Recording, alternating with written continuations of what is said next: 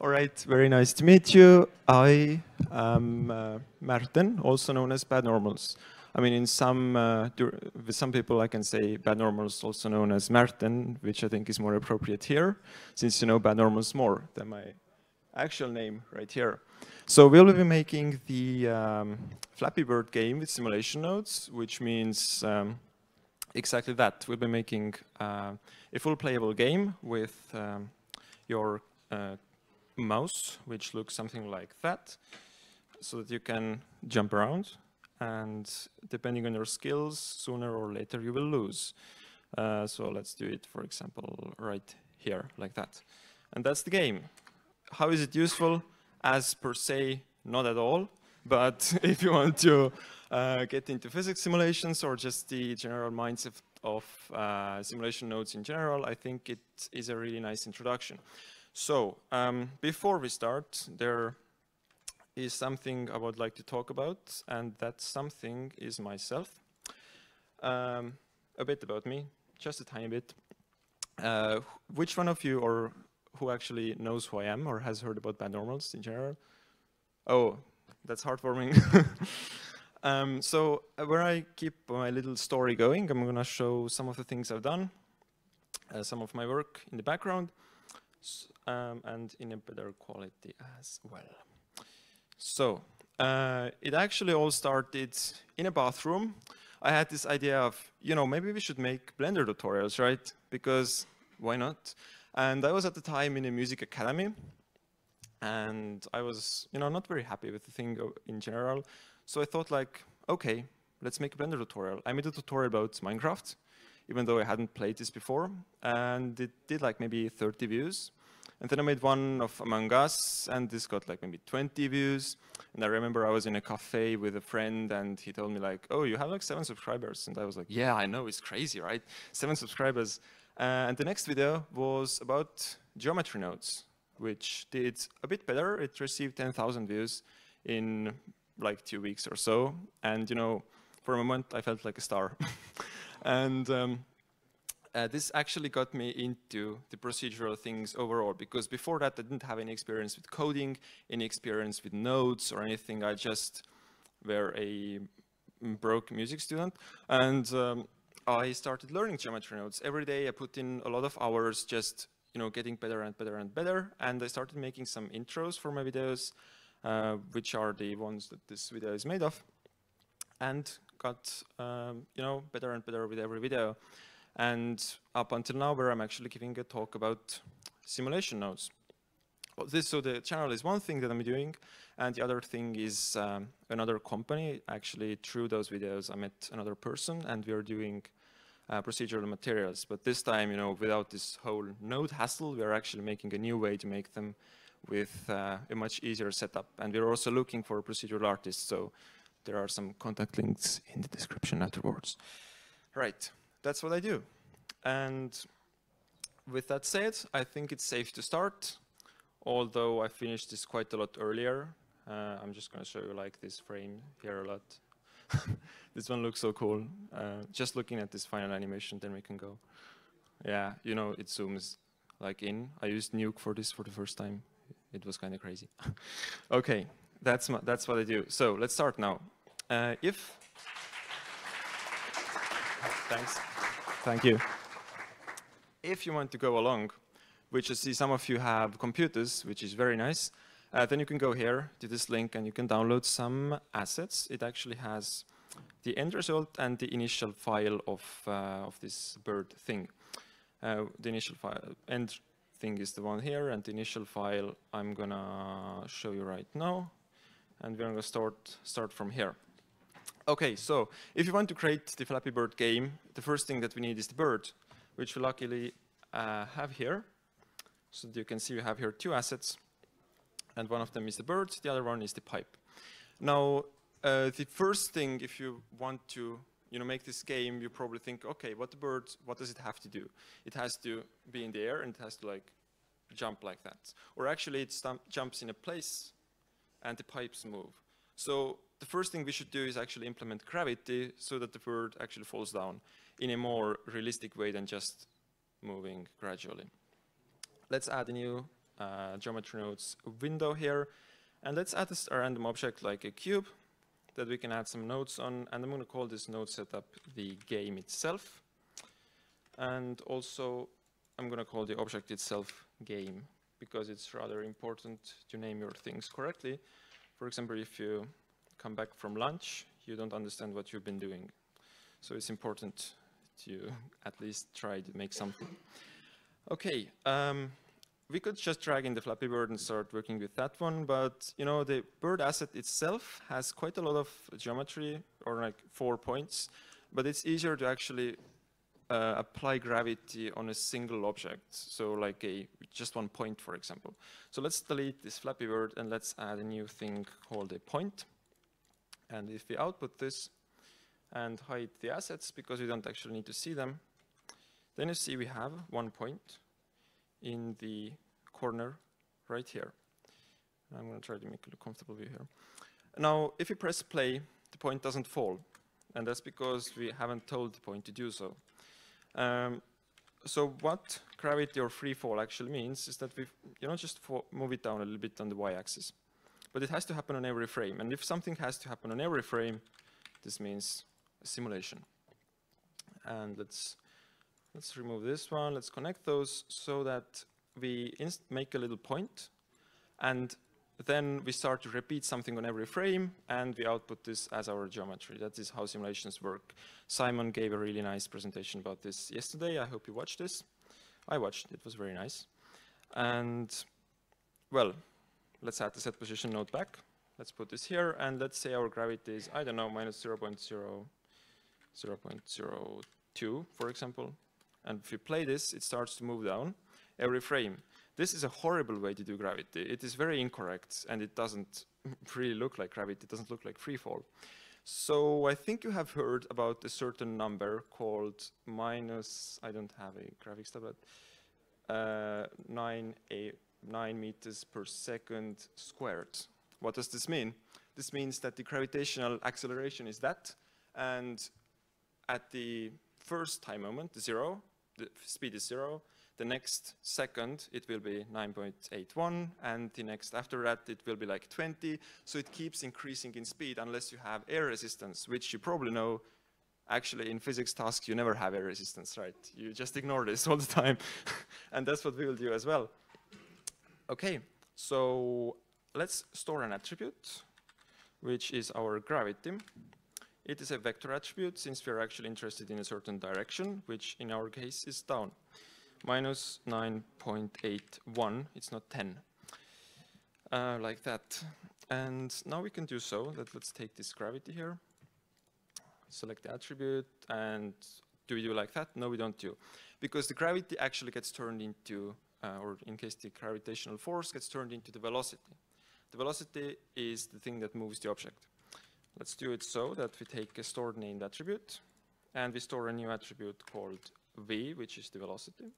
It is a vector attribute since our objects move in different directions, not just in one. And uh, the velocity attribute will be composed of the velocity itself from the last frame, and then we apply some new forces to it. So for example, if I have my phone here and I just like punch this, force gets applied, phone moves not too far, hopefully. And that's how it works. So let's take vector math node, put it here, and we add gravity to the velocity. And then we use the velocity to move the object. Where is our point?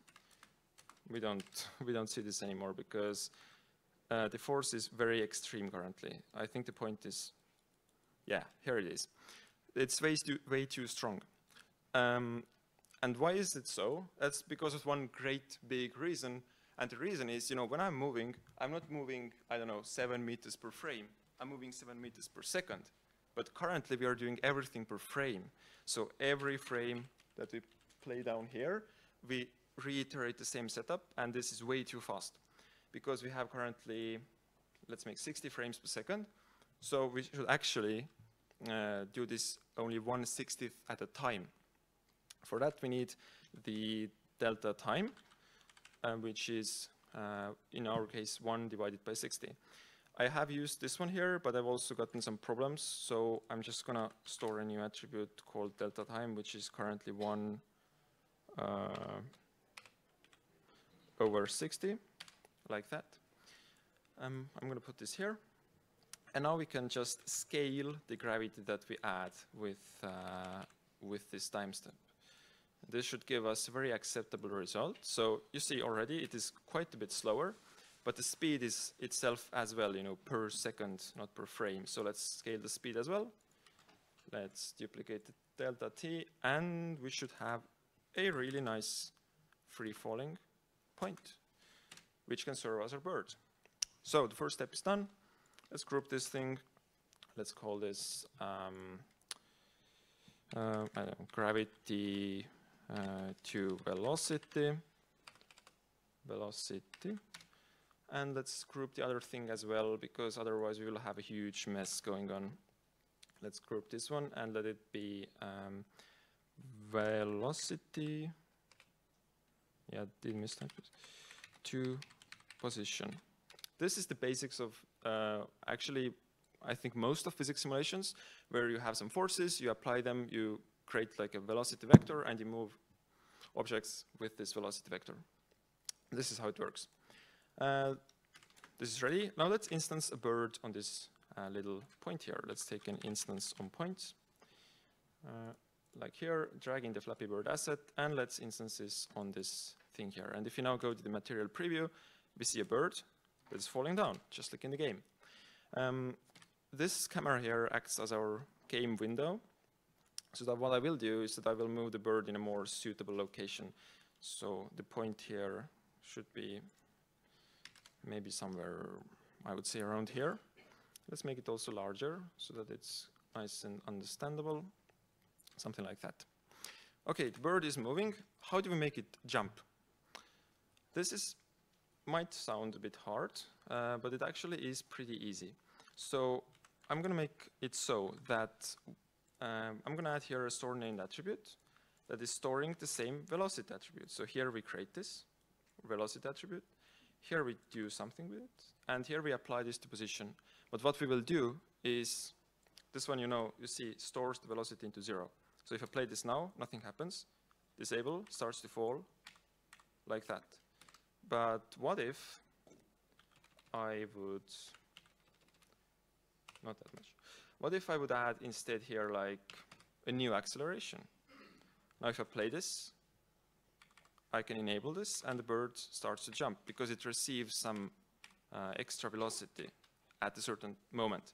However, there is a massive problem. The problem is the bird has a bit too much energy. So if I play this, you know, I can keep this in and it will continue to go on forever, which is not the case with the real game. So in the real game, you tap on the screen and it doesn't matter how much you hold your finger here, it will actually just, you know, get, get one impulse and pull back. It's not like you keep your finger there, it's gonna like go on like a rocket. It doesn't do like that. So let's create an impulse. It is a bit of a thing to do since you know you cannot actually get click information in Blender, you, you cannot get the click information. So let's build our own little game controller. For that, I'm going to uh, move the cursor to the world origin, add a little empty here, like a cube, make it smaller, and let's do it so. You see the center of the empty is this yellow little um, dot here. So if this yellow dot moves over the red line here, which means it gets positive on the uh, y-axis, then we register a click. But not like when I you know, move it over and keep it there, it will not keep giving me the click. It will just give it once when I've moved over, and then reset back to you know, false or reset back to false. Okay, um, this sounds like a pretty complicated program to just start with like on the go. So the first thing what we need to understand is how do we understand if this empty is higher on this uh, or over the x line? For that, we need to get the position of the empty. So I'm going to pin this game here, and I'm going to drag in the empty. Um, and honestly, the problem with this empty is we cannot store any data on this empty because it's an empty object. Uh, and, but we can only store data on you know, points, edges, faces, face corners, splines, instances, and empty is not one of them. So what we will do is that we have one point for the bird, acts as our bird, and we have another one which is our controller, CTRL, CTRL, uh, like that. And we will just join them together and add them into our simulation, both, like that. And now we have the bird and the controller both going in. And if we uh, well see where is the where is the controller. We don't see this because it's in the same location with the bird. So I'm gonna reset this to zero, and now we have two birds. Not optimal. We need actually only one. Um, and in the end here, you see we instance on all the points currently, but we should be able to select only one. And for that, we need to add a little separation attribute. For example, uh, on the bird, we can get, create an attribute called bird, which is a Boolean attribute, you know, just true or false. I mean, you don't have any mixed feelings. It either is a bird or not. I mean, there is no question about that. So a tick box, this is a bird, this is a controller. All nice and clear. And now we can go in the end, add a little named attribute here where we have our bird, put this here, and now we only have one left. So the controller has now one point, and this point that we currently don't see because we only instanced um, on the bird. I'm going to add a join geometry so that we kind of have like both of them visible. Uh, the point here should move with the controller, so it acts as like a little memory stick of the controller. So the controller moves somewhere, the point moves with it, and records some data about this, and we can use this in our game. Um, so how do we move the controller uh, into the same location? If you press play, you see they both fall down, which means that currently everything we do is both for the bird and also for the controller, but they are clearly different objects. We don't want to do this. So I'm going to move the bird things up here. And down here, I'm going to add a little, like a separation. I'm going to join them together like that. Now, this is no different, but I'm going to add a separation, a separate geometry. So up here is my bird, and down here is my controller. And for clarity, I'm also going to name this bird plus controller. Um, and of course, it doesn't do this right now. I have to separate based on the bird. So what the setup now does is that it finds all points that have the attribute bird uh, true, which in our case is only one point, and separates this up here. So the bird starts to fall down, but the uh, controller doesn't, since the controller is, you know, not, we do nothing with it. Uh, what we wanted to do is to move the point where the uh, controller is, because when I play this and I uh, select the empty here, you know, it doesn't move with my empty. Let's take a set position, since we want to change the position of this point, take the empty, and let's use the location of the empty as the location of our point. Now the point moves with us. Um, for a controller, it would be more convenient to have this only move up and down, on the y-axis. So we can add a little con uh, constraint, limit location. So we limit everything and do like maybe minus 0.25 and 0.25 on the x-axis. So now, however I move, it will only now move like a controller or like a little gamepad switch. And this is a pretty playable device, I would say. Um, okay, let's let's group this thing and let's call this um, move CTRL to empty. This one is done. But how do you register the click uh, then? Uh, we have to first understand if the controller is above or below this X line here. For that, we need to understand the position. So if we take the position of all of those points currently, and we now separate this into the x, y, and z components. We are interested in knowing how like high is it on the y-axis. And for that, we can use a compare node. Um, so I'm going to take the compare node and compare if on the y-axis we are you know, higher than zero or not. If I now move this, it is higher, it is lower, it's higher, lower. But it's, you know, kind of doesn't, you know, turn itself off. It still keeps the click, as you see right now. Uh, let's uh, play the animation. Let's see, let's see how it works. Yeah, I mean, it turns white. And we could use this as the, as the switch here. But it doesn't, you know, kind of work because you see it keeps itself being white all over and the bird is still going to be like a rocket. So we don't want this. And let's think about how we can solve this. Um, so to do this, I'm first going to store uh, this thing here that we made, uh, whether or not it is above the y-axis. I'm going to store this as an attribute called current, because it is the current state of our switch. Uh, it's a Boolean attribute, like that. Not going to group those yet, because we have some more things to do. Move them here. And in the end, I'm going to take the current attribute and preview this. And now I'm just going to, you know, make my animation play and do like that and go to a certain, you know, no, it, was a bit too fast. uh, I'm going to do like that slowly. And now let's zoom in here and see. So when this is below the uh, red line here, it will always be black. I mean, it will always be false. But when I start to move up and up and up, now it gives me the impulse, and on the next frame I want this to turn off, but it doesn't. So we need to in introduce a logic for that to work. And my idea is so that we store the current position, as we just do here, and we also store the previous frame position, or the value here. So uh, currently, on the previous frame, it was black. Now on the previous frame, it was still black. And on the next frame, it was white. So if two consecutive frames are true, this means turn, it, turn yourself off. We don't want you anymore. And let's, let's create this logic. Let's see how this works. Uh, so how do we get the previous state of this, um, of this switch? For that, let's use another store named attribute that we can actually copy from here.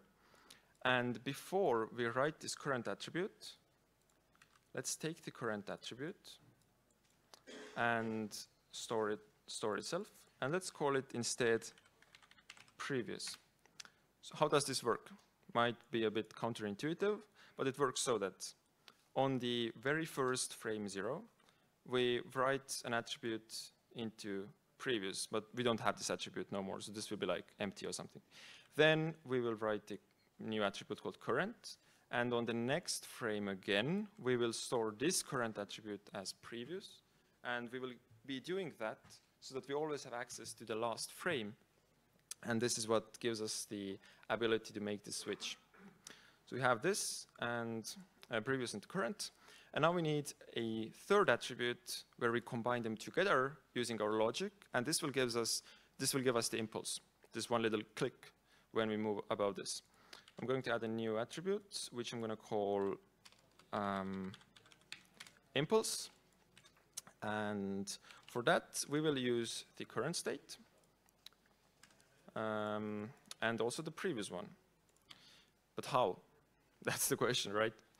Um, to be honest, I figured this out a few months ago, but then when I you know, started practicing before the conference, I had forgotten that. So I was like, oh my God, how did I do that? And now I obviously remember. So uh, let's go over this logic once more. We have this um, I'm going to open up a spreadsheet. This gives us even more context. Viewer node. And here we have two points mm, with all, all of our attributes. We have previous attribute, impulse attribute. Is, is this a bird? Is this a plane or a controller? And um, we can understand based on that. And I'm going to play this again, do like that. So we have a little case here. And let's see, okay. So here, two consecutive frames are true. Um, okay, I'm going to add um, um, a Boolean math node, which helps me do some logic operations. Actually, the whole CPU of uh, computers is built with those expressions, and those are like really clever people who come up with such things. Um, and we will compare are the current and the previous frame both true? So you can see in the spreadsheet right here, so the previous is true, and the current is also true. If you go one frame back, do you see the previous is not true? Okay. And if they are both true, we should turn itself off. Uh, so, I mean, if they are both true, which they are right now, then let's just invert this and let's say turn yourself off, like that. So this is something that we need. And now I'm going to use a switch node because uh, our controller has two states. It is either above the x or below. Now, if this is below, uh, then we actually, you know, we don't care. I mean, it, it can just be the negative uh, value here. We don't do anything too special with it. So I'm going to make this a Boolean switch. And if the current attribute is false, I'm just going to use the current attribute. If the current attribute is true, which means it's over, I'm just going to use our newly created logic system. I'm going to put this here, like that. And now let's switch this attribute here for the impulse. Let's see if this works or I'm just talking nonsense. Um, does work, so I'm not talking nonsense, obviously. okay, uh, we have the switch here and I'm going to, or the impulse, I'm going to group all of that here. It gets a little bit messy and call this thing impulse um, logic. This is the impulse logic. Um, and now we just should somehow get this impulse to our bird since uh, currently we are writing this on the controller and the bird doesn't know anything about this. It's like in its own bubble here, so really doesn't know what we do with the controller if you preview this attribute, you know, if you play this, you see uh, the controller is flashing, but the bird isn't. So um, we should somehow get this attribute onto the bird and make this enable this node. Obviously, we cannot enable actually a node. It is more of a UI thing. So let's instead use a switch. And the switch does so that when the jump is true, it uses like a new velocity that makes it go like that. And when the jump um, is not true, it will use the previous velocity. You know, just keep doing its own stuff. And we just need to get the impulse uh, somehow here. We're gonna do it like that because the geometry of the bird doesn't contain this attribute.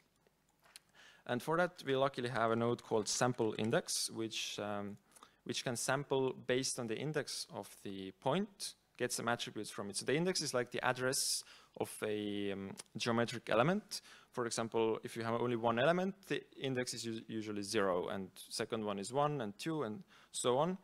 Uh, now, since our controller geometry only has one element, it's pretty safe to say the index is zero, uh, because there is only one element. It won't be probably 70 or something like that. And from that geometry, we will be getting uh, the impulse attribute, and we will be using this as the switch for our bird. So you see right now it works because every time we get an impulse, uh, it really works. Takes, takes, takes, takes it into account. Let's group this, Control G, and call this uh, maybe jump switch would be um, pretty appropriate, jump switch. Um, and and this is, I mean, pretty much the logic of the bird itself. Now, the only thing that we need to make this game more like Flappy Bird, uh, I'm also going to play this or make it visual. The only thing uh, that we need is to be sure that we actually have some pipes that we can collide with. Okay, uh, collisions, you know, dying birds sounds fun. Let's do this. Um, for that, we need the pipe asset. The pipe asset is um, is right here in our scene. And we need to spawn this into our scene. So how do we do this? We basically do so that um, every frame we take the pipe asset and we add this to our geometry. Then we move this a little bit and then we add a new one and we move them all a little bit so that we just, you know, keep flowing in some pipes into our scene. Uh, I'm gonna hide this. Um, let's do this. Uh, but the problem is, um, where do we add this? Um, we could be tempted to just add something here, but I mean, this is actually the controller lane here. We do some controller stuff here. We don't want to mess with that one. We actually want to add a new separation here and separate the controller into its own safe, you know, space here. And uh, the rest that is coming from here will be our pipes, and we will pipe the pipes in the end. No, does this work? Yeah. We will pipe the pipes in the end. So here I'm going to add a join geometry. And on every frame, I'm going to take this pipe uh, object and going to put this here. On the first frame, you have this here. Uh, now, if I play this, obviously, we don't see anything because they will be all added to the same location. So instead, I'm going to take a set position node and use a finely tuned value that I've been practicing seven times of minus 0.02 meters. This does it so that when I now play this, we start to have like a lot of pipes added into our scene, and all of them move, which is uh, kind of good, but not very practical. So obviously we have a lot of them. We would actually much rather prefer to have, you know, let's say every 40 frames, you want to add one pipe, and then another 40 frames also. Um, for that, first we need to understand how we can even turn this flow off. And for that, we can use a switch. So for, for example, if I turn this into true, it will use nothing. And, and if you add nothing to your scene, it won't have any pipes. And we will, um, you know, you control the switch dynamically. So we'll use the scene time node and use a math operation called modulo, which means um, Mm, the remainder of a division. And in human language it means so that if you have like frames and you do mod 5 it will be like 0 1 2 3 4 0 1 2 3 4 and so on. And keep in mind that there was a 0 there. And we also have this thing piped into false. So every time there will be a 0 we will use this pipe let's put it to 40 and now every 40 frames we will have one pipe flowing into our scene we don't get anything on the first frame, which is annoying if you want to change positions or anything and understand what we actually do. So I'm going to subtract one here, and seems to be working. Yeah, kind of shifts the incoming frames a little bit, so it makes more sense. So now we have the pipes flowing in, but not from the correct location. Let's go to the camera view and move them where we want them to move. Now it's very important where you're going to move them, because if you move them right here, this will be done on every frame but we will just change the position of the new ones. So I'm going to move the new pipes added here.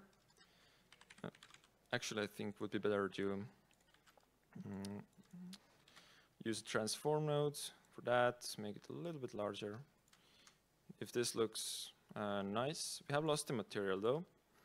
Uh, so in the end, I'm to add a set material and get this wall material. We, we're back like that. And now we have some pipes flowing in. But you know, in Flappy Bird, we actually have, you know, we have ones in the bottom, the ones in the top, and they are, you know, can't do that with my fingers, but they are, you know, random like that. So um, let's make, let's uh, do so that these are like the ones below, and we also have ones on the top. So we're going to join the geometry. Uh, these are below, and these ones are top. Let's go to the first frame. Um, I'm going to move those ones up, rotate them 180 degrees, and yeah, this is a bit too difficult. Of, uh, no, kind of the same, like that. So now we have pipes up and down flowing in. They are very, very uh, uniform though. I mean, they are just a straight line. Uh, so each frame, when we add something, we should move it in a you know, random up or down or whatever we want to do with them. For that, let's use a set position node. Let's add this here. Uh, currently, we're only doing from the pipes up here, and let's add a random value we, because we want to move them randomly. So I'm going to take a vector random value, put this into the offset. Does like that. Not very good. So what do we do? The problem is in the ID here. So currently it has, uh, how this node works, it, it's going to take an ID, and based on that ID, it's going to generate a random value. And since this one has like, I think four points, this asset, then, well, the ID is going to be different, so every point is going to have a different value. But we just plug in like a random number here, like zero, and now the random value will be the same for all the points. Let's do like 0.5 and maybe Actually, this is, this is a bit too much. So I'm going to make it vary on the y-axis by 0.25. But if you play, it won't still be different. And that's because the seed here is the same for all the frames. So let's take the scene time node and plug the frame into the seed. And now you have some different pipes coming into your scene in a pretty, I would say, nice way. Let's copy that. Let's do the same thing for the um, for the for the uh, pipes down here. Offset. Is it working? Mm, I would say, but the no, it doesn't seem to work very well though. Uh, oh, yeah, of course.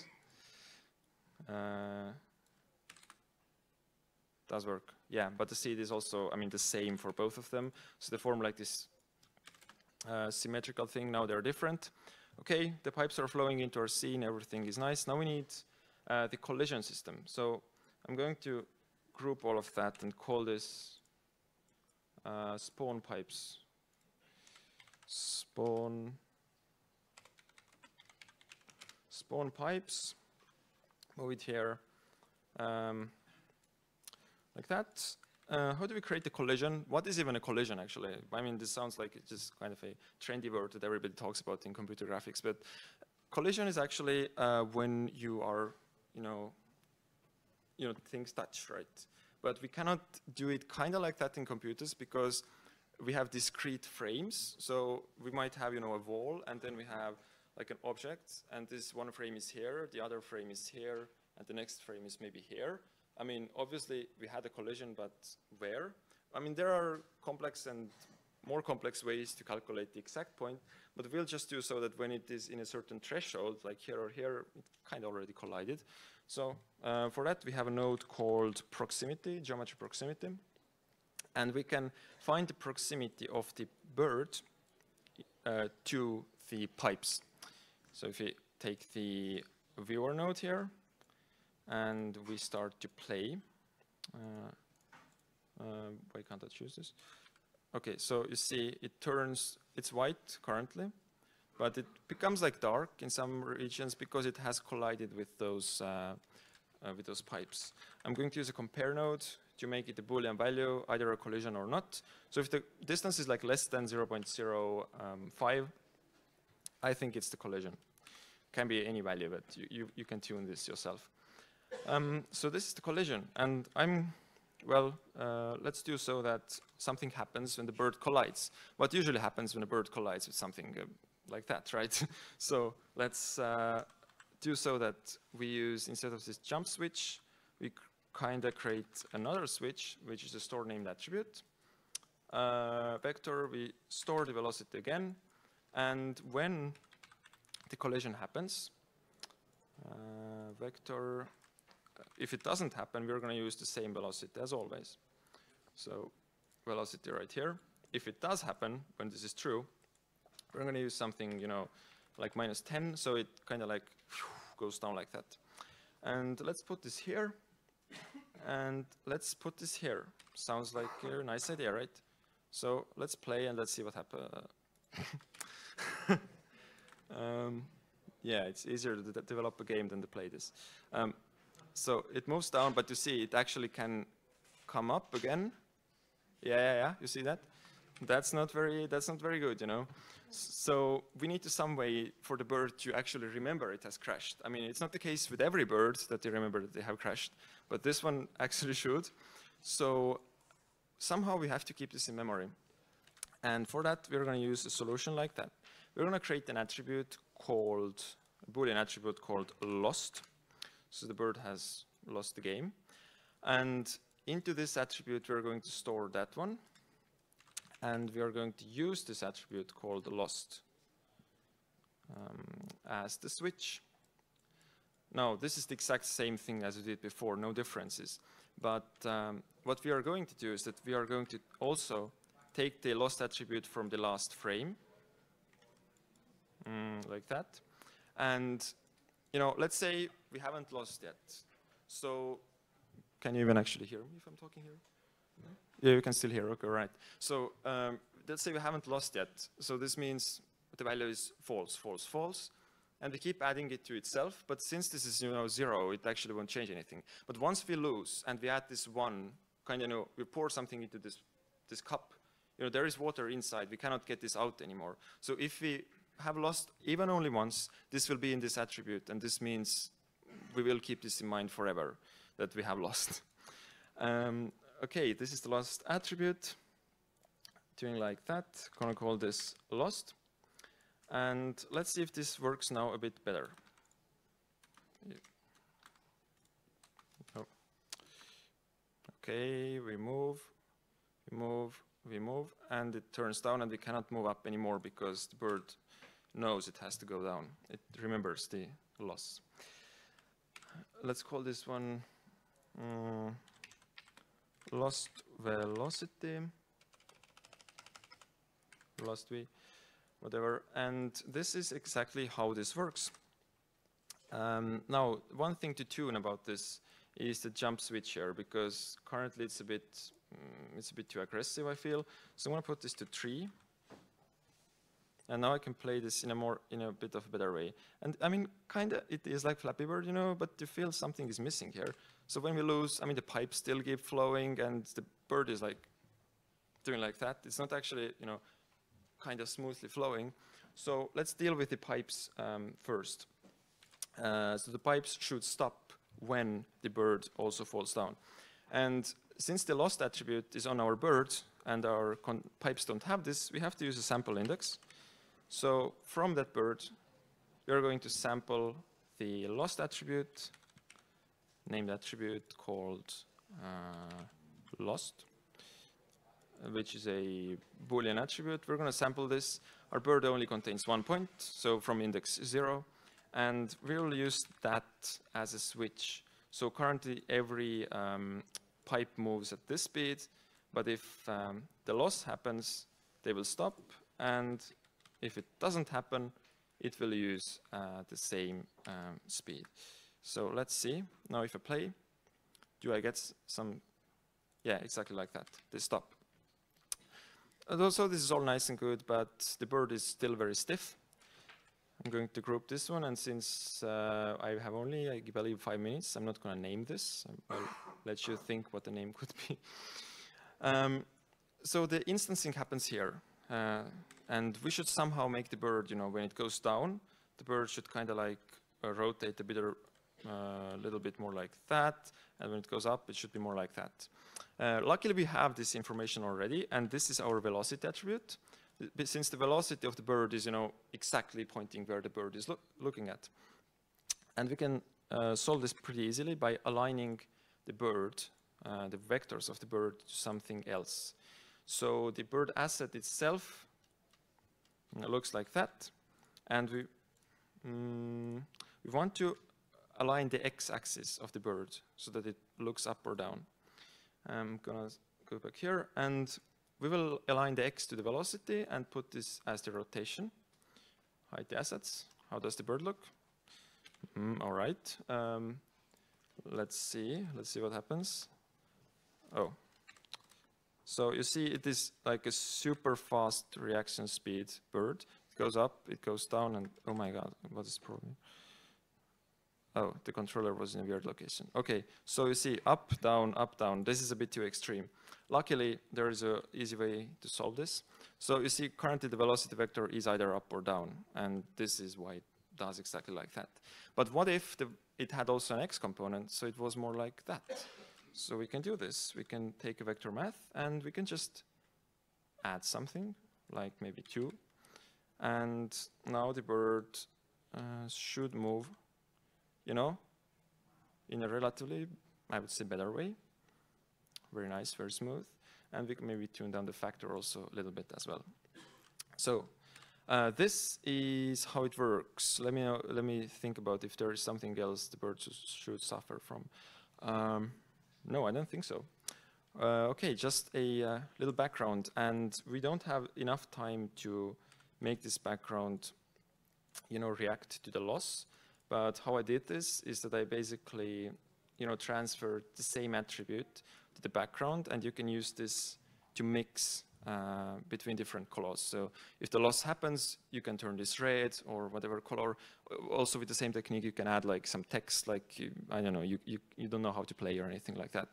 And that's, uh, that's how this works. So I hope this gave you an, an introduction to how you can do something like that with simulation nodes. It was interesting to watch, hopefully, and that's all from me.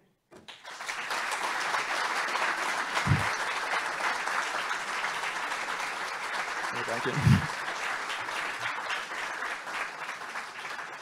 Also, we have two minutes actually, so if you have any questions about which jam I like or something like that, you can ask me. what? Explain?